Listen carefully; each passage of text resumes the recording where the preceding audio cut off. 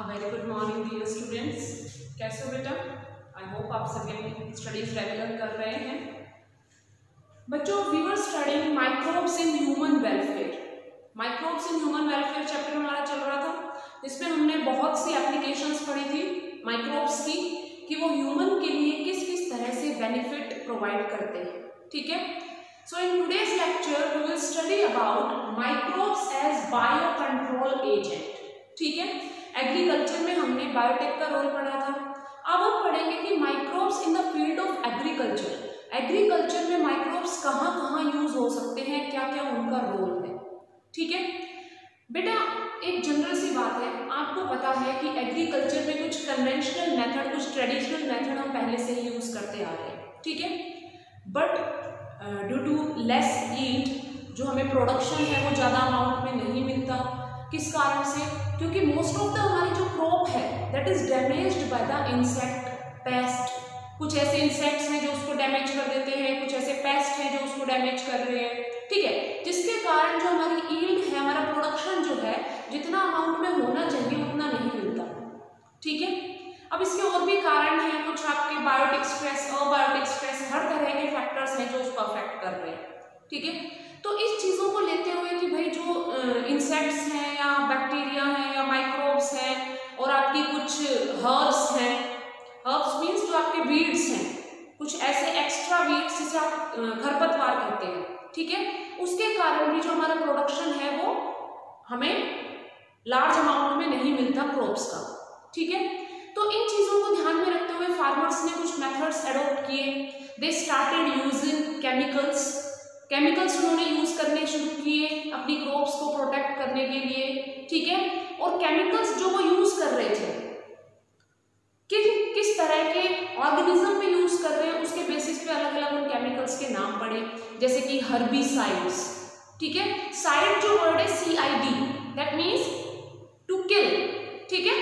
तो herbicides weedicides weedicides means to kill weeds ठीक है? तो इस तरह के केमिकल्स यूज़ किए जाने लगे other than that insecticides insects को किल करने के लिए केमिकल्स यूज़ करने लगे। और आपके pesticides insecticides weedicides herbicides nematicide bacteriocide तो ये जितने भी जो केमिकल्स यूज़ कर रहे थे they were use to kill harmful pest pest को किल करने के लिए इंसेक्ट्स को यूज़ किल करने के लिए।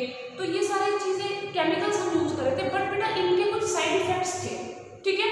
ये जो केमिकल्स हम यूज़ कर रहे थे दे आर समवट एक्सपेंसिव कुछ बहुत एक्सपेंसिव थे plus they are harming the environment ठीक है एक तरह का एनवायरमेंटल पॉल्यूशन कॉज कर रहे थे दूसरी चीज़ जो हमारी यूजफुल क्रॉप्स है sometime they are they they are also harmful for our useful crops जो हमारी मेन हमारी एग्रीकल्चर क्रॉप्स हैं उनको भी ये हार्म कर रहे थे ठीक है अगर ये उससे प्लांट की बॉडी से स्टिक हो जाते थे तो कई बार क्या होता था it is not easy to wash them उनको हटाना बड़ा मुश्किल हो रहा था ठीक है तो ये सारी चीज़ें कुछ सामने आई तो उसी को ध्यान में रखते हुए फार्मर्स ने क्या किया कुछ साइंटिस्ट कुछ एग्रीकल्चरल एग्रीकल्चरिस्ट जो थे उन्होंने कुछ नए मेथड्स एडोप्ट किए कि किस तरह से कुछ ऐसा यूज़ किया जाए कि वो एनवायरमेंट को भी पल्यूट ना करे, ठीक है?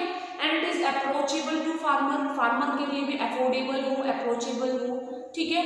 और जो हमारी मेन क्रॉप्स हैं, वो भी उससे प्रोटेक्शन रहे। दैट मीन्स वो डैमेज ना हो, ठीक है? और कई बार क्या होता है बच्चों कि बहुत से ऐसे इंसेक्ट्स होते हैं which are useful for our crops ठीक है? कुछ इंसेक्ट्स जो होते हैं, वो क्या करते हैं? They are useful for our crops हमारी क्रॉप्स के लिए तो यूजफुल है, लेकिन हो सकता है जो हमारे वीड्स हैं, वो उनको डैमेज कर रहे हो। लेकिन जब हम केमिकल्स का यूज़ कर रहे थे तो जो हमारे यूजफुल इंसेक्ट्स थे या यूजफुल पैरासाइट्स थे, उनकी भी क्या हो जाती हो जाती थी? डेथ हो जाती थी। ठीक है? तो इन सब चीज़ों को ओवरकम करने के लिए, इन ड्रॉबैक्स को ओवरकम करने के लिए एक नया मेथड अडोप्ट किया गया दैट वाज बायोलॉजिकल ट्रीटमेंट और बायो बायो कंट्रोल मेथड ठीक है? जिसमें हम बायोलॉजिकल ऑर्गेनिज्म का यूज़ कर रहे हैं अपनी क्रॉप्स को बचाने के लिए ठीक है? सो so, उसी में हम आता है हमारा microbes as bio control agent ठीक है? किस तरह से हम माइक्रोब्स को यूज़ कर रहे हैं? For protection of our desired और मेन क्रॉप्स ठीक है? तो इसमें कुछ एग्जांपल्स हैं बायो हर्बिसाइड्स के, आपके बायो इंसेक्टिसाइड्स के, जैसे बायो हर्बिसाइड्स के लिए जो आपके, अगर हम किसी इंसेक्ट का यूज़ कर रहे हैं वीड्स को किल करने के लिए, जो हमारी खरपतवार है उसको किल करने के लिए हम इंसेक्ट्स का यूज़ कर रहे हैं, ठीक है? वो इंसेक्ट बच्चों हमारी जो मेन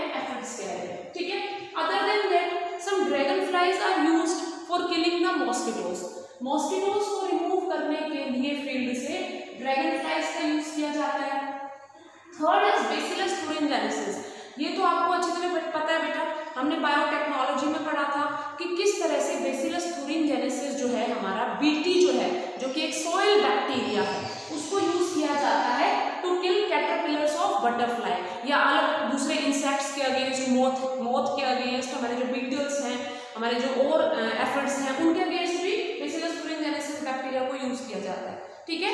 इसके जो स्पोर्स होते हैं dried spores they are spread on the crops crops के ऊपर उनको स्प्रे कर दिया जाता है जिससे कि ये जो बटरफ्लाई हो गई या फिर इसके कैटरपिलर है या और जो इंसेक्ट्स हैं हमारे, जब वो उस पर फ़ीड करेंगे हमारे क्रॉप्स पे तो क्या होगा, जो टॉक्सिन प्रेजेंट होता है फ्लोरेंजेनेसिस में, वो उनकी बॉडी में चला जाता है। This is the direct use इसमें हम कोई मॉडिफिकेशन नहीं कर रहे हैं, हम कोई बायोटेक्नोलॉजी यूज़ नहीं कर रहे इसमें। मैंने क्या किया है? डायरेक्ट उसके ड्राइड स्पोर्स जो इसके स्पोर्स हैं बेसिलस फ्लोरेंजेनेसिस के, उनको ड्राई करके मैंने स्प्रे कर दिया है मेरे डिफरेंट क्रॉप्स पे। इन दैट केस जो हमने पहले पढ़ा था बायोटेक्नोलॉजी में, उसमें बेटा हम क्या कर रहे थे? बीटी कॉटन एक नया प्लांट बना रहे थे उसकी हेल्प से। उसके जीनोम में कॉटन के जीनोम में हम बेसिलस फ्लोरेंजेनेसिस का जीनोम इंटीग्रेट कर रहे थे with the help of vector but here we are directly using the Bacillus thuringiensis by spraying its spores on the plants clear है? ठीक है नेक्स्ट आता है हमारा Trichoderma Trichoderma is a fungus Trichoderma एक फंगस है बेटा जिसको यूज़ किया जाता है उसके स्पोर्स को यूज़ किया जाता है फॉर किलिंग प्लांट पैथोजन जो पैथोजन हमारे प्लांट को क्रॉप हमारी क्रॉप को डिस्ट्रॉय कर रहे हैं उसके अगेंस्ट ट्राइकोडर्मा फंगस को यूज़ किया जाता है। नेक्स्ट है हमारा baculovirus it is very most important बेटा, बहुत इंपॉर्टेंट है एग्ज़ाम पॉइंट ऑफ़ व्यू से। कई बार ये पूछा भी गया है तो बहुत सिंपल सी बात है। बैक्यूलो वायरस एक तरह के रोड शेप्ड वायरसेस होते हैं, जिनमें डबल स्टैंडर्ड डीएनए प्रेजेंट होता है एज जेनेटिक मटेरियल ठीक है तो जो बैक्यूलो वायरस है बेटा these are rod shaped viruses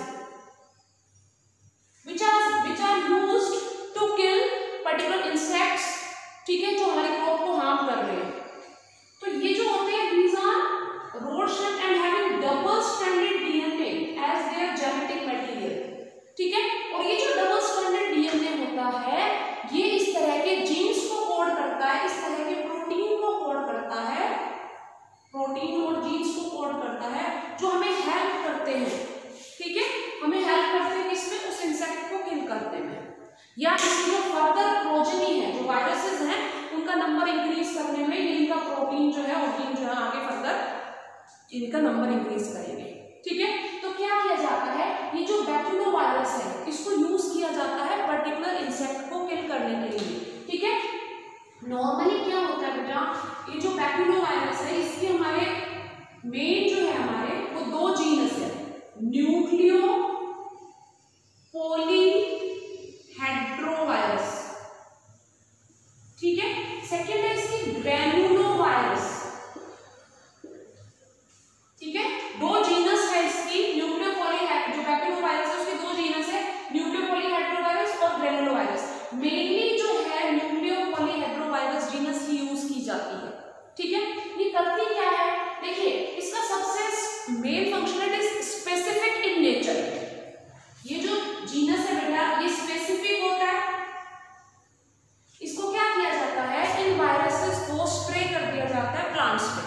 Tid?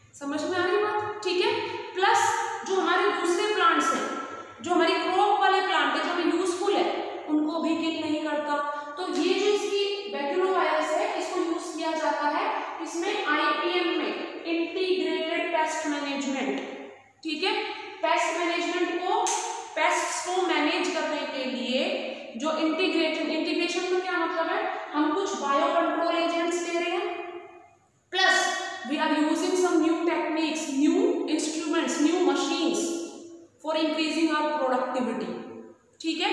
तो आपको ये याद रखना है बैक्टीरियोवायरस की भी न्यूक्लियोपोलीहेड्रोवायरस जो जीनस है, वो यूज़ की जाती है।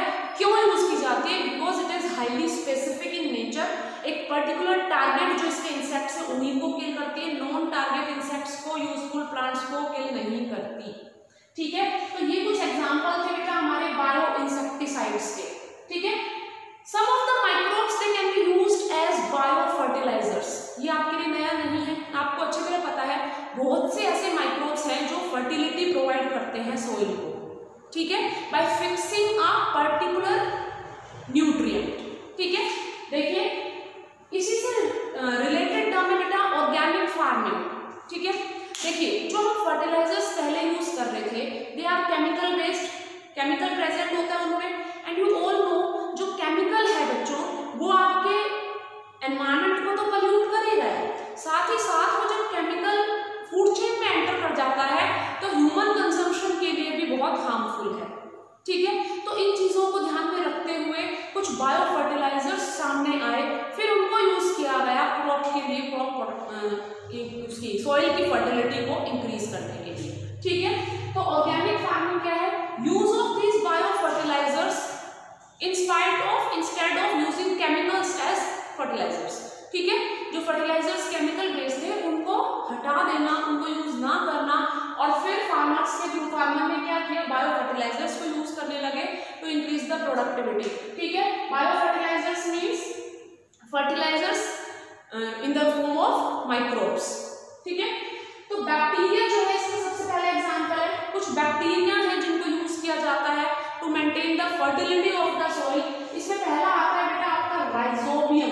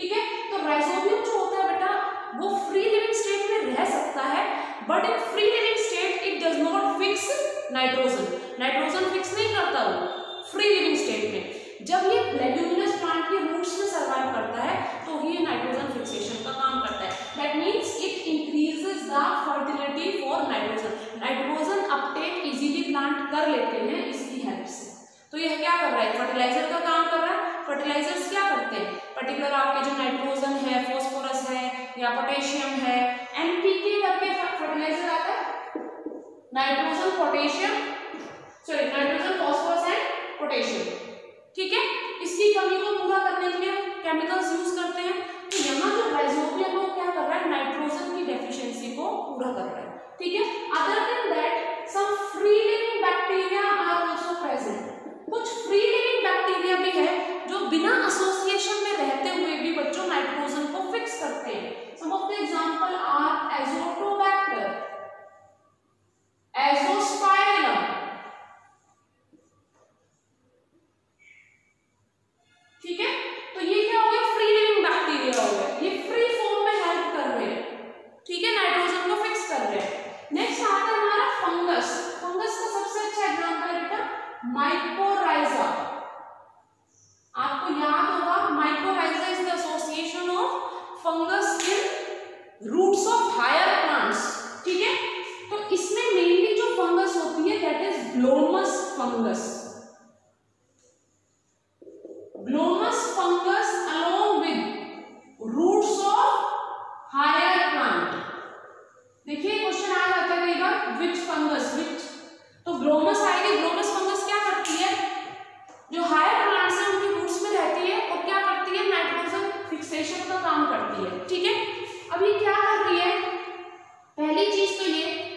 fungus है।